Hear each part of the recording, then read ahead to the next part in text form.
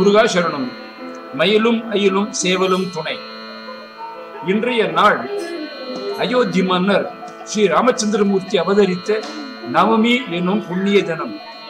இந்நாளில் பாரத பூமியான ராம ஜென்ம பூமி சிறப்புற்று பாரதம் முழுவதும் ராமராஜ்யமாக செயல்பட அந்த ஸ்ரீ சீதா பரத சத்ருக்ன லட்சுமண ஹனுமத் சுமேத ராஜா ராமச்சந்திரமூர்த்தியை பிரார்த்திப்போம். ஸ்ரீ ராமர் இந்த பூமியிலே அவதரித்து துஷ்ட நிகிரகம் சிருஷ்ட பரிபாலனம் செய்ய காரணமாக இருந்ததை கூறும் திருச்செங்கோடு திருப்புகழ் பாடலையும் விளக்கத்தையும் கேட்டு இன்றைய பதிவு நிறைவு செய்வோம். முருகாசரணம் கால கால படப்பை மடப்பிய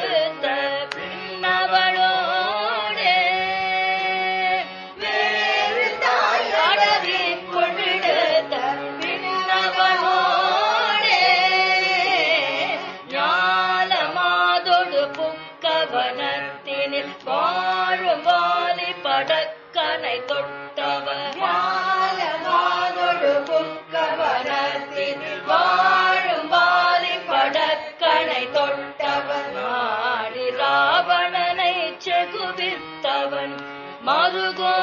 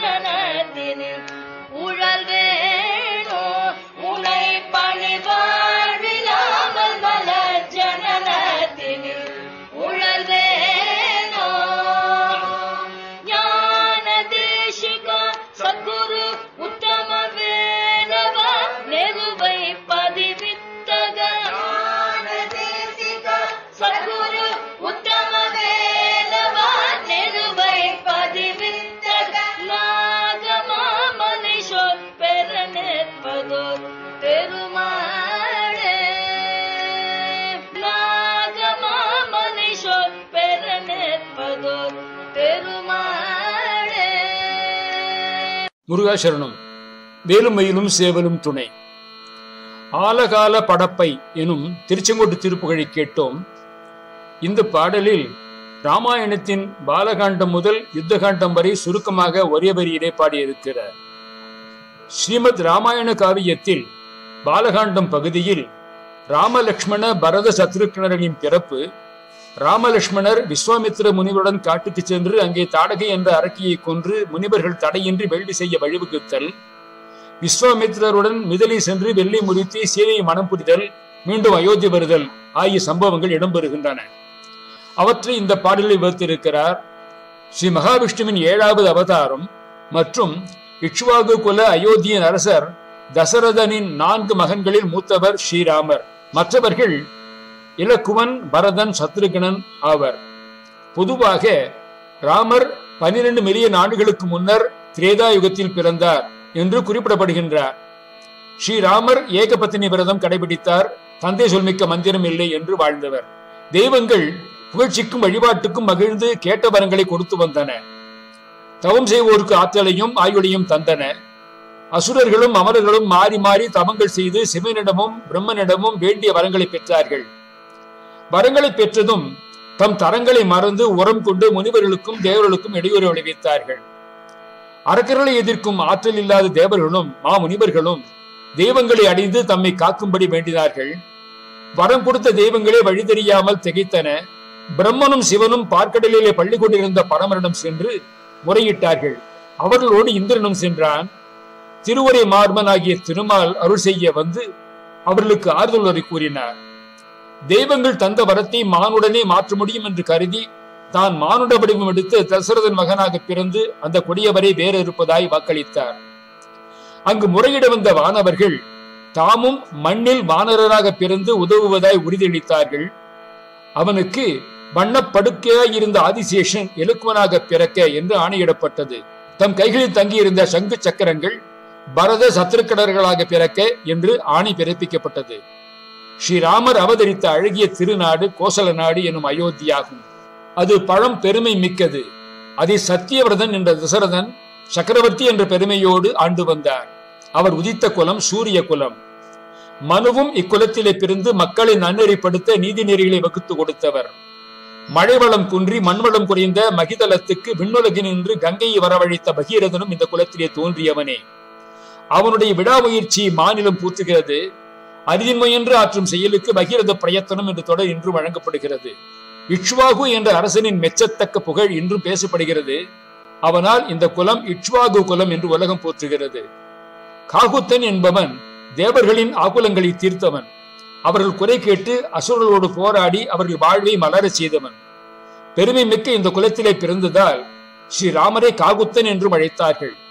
ரகு என்ற அரசனும் இக்குலத்திற்கு பெருமை சேர்த்தவர்களுள் ஒருவன். அதனால் ராமனை ரகுராமன் என்றும் ரகுகுல திலக்கன் என்றும் அழைத்து வந்தார்கள்.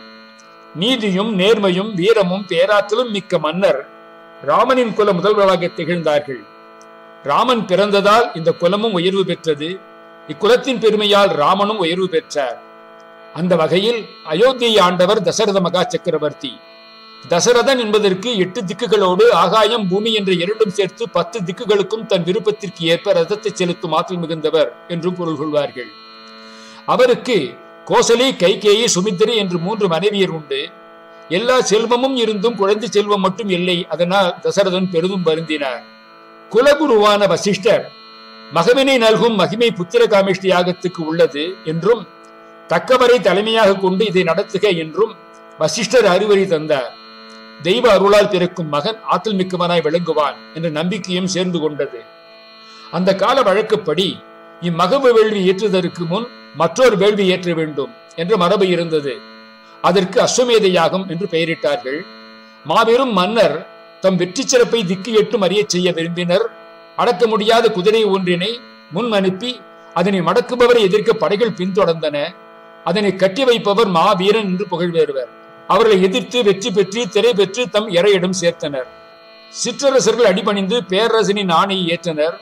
அரசன் மாமன்னன் என்று புகழப்பட்டான். தசரதனும் இந்த பரிவேள்வியை செய்து முடித்துவிட்டு பின் இம்மகபு நல்கும் நல் வேள்வி நடத்தினான். வேள்விக்குரிய ஆசான் யார்? அவன் எங்கு இருக்கிறார்? எப்படி அவரை அழைத்து வருவது? என்ற முறைகளை கேட்டு தசரதன் செயல்பட்டான். அதற்கு தகுதி கலைக்கோட்டு மாமுனிவருக்குத்தான் உள்ளது என்று வசிஷ்டர் அறிவித்தார். அவரை ரிஷ்யசிங்கர் என்றும் கூறுவார்கள். அவர் அங்க நாட்டில் தங்கியிருக்கிறார் எனவும் ரோமபாதர் அந்நாட்டு அரசன் எனவும் அவர் தம் மகளை இம்முனிவருக்கு மணமுடித்து தம் அரண்மனையிலே மருமகனாய் இருக்க வைத்திருக்கிறார் எனவும் தெரிவிக்கப்பட்டன. கலைக்கோட்டு மாமுனிவர் விபாண்டன் என்னும் தவமுனிவரின் ஒரே மகன். அவர் வெளி உலக பாதிப்புகள் இல்லாமல் வளர்க்கப்பட்டார்.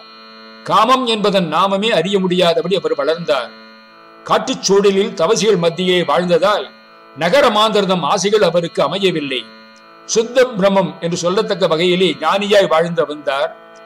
ரோமபாத என்னும் மன்னர் தன் நாட்டின் மழையின்மையை போக்க அவரை மயக்கி நகருக்கு அழைத்து வர அந்த நாட்டு நங்கையர் சிலர் முன்வந்தார்கள் நாட்டை விட்டு காட்டையடைந்த காரிகையர் தம்மோடு வருக என்று அழைத்தார்கள்.